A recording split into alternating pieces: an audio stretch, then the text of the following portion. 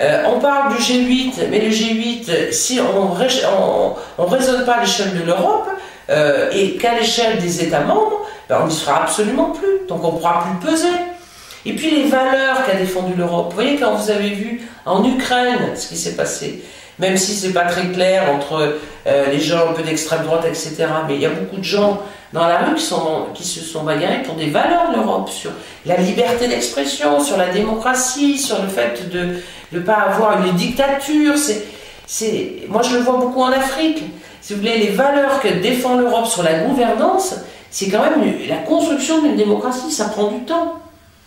Donc, euh, moi, je me dis que l'Europe, c'est vraiment euh, euh, une échelle qui peut répondre à la fois aux défis climatiques, mais aux défis économiques aussi, et aux défis sociaux.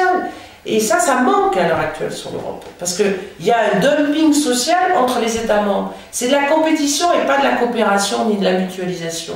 Donc ça veut dire qu'il faut construire une autre Europe. Il faut plus d'Europe en fait. Et pas que les gens se sentent dépossédés de leur souveraineté nationale.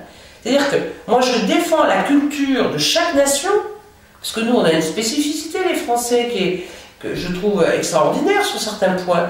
Mais par contre sur tout ce qui est gouvernance, tout ce qui est protection du citoyen européen, il faut aller, il faut aller au-delà.